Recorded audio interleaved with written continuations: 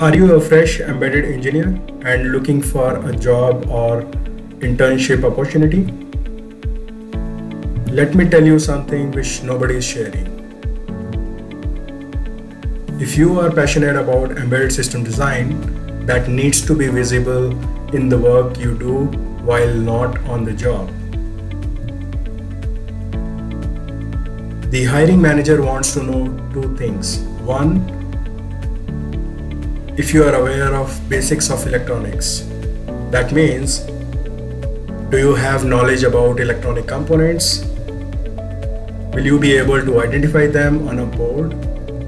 Do you know how to read data sheets? And do you have knowledge of basic circuits? Second thing is about MCU programming. Do you know C programming? Have you worked on different microcontrollers or experimented with? What kind of interfaces you have worked with? If you show interviewers what I am going to tell you now, they will love you. Here is a tactical advice. Pick an interesting embedded project and start documenting. Add details like what is the project all about, why did you pick the project, block diagram showing all different interfaces and components you are using,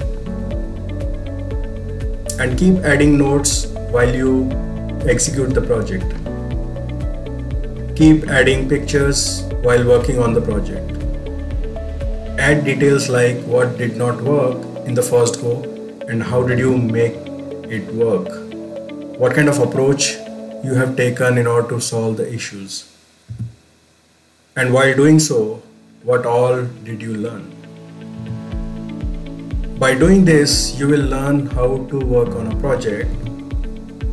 Also, you will have a project development journey to showcase.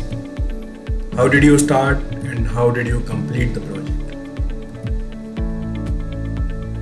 This will also help you improve your presentation skills.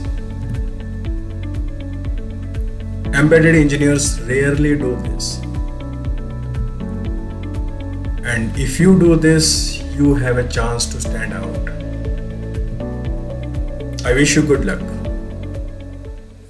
I hope you found this video useful.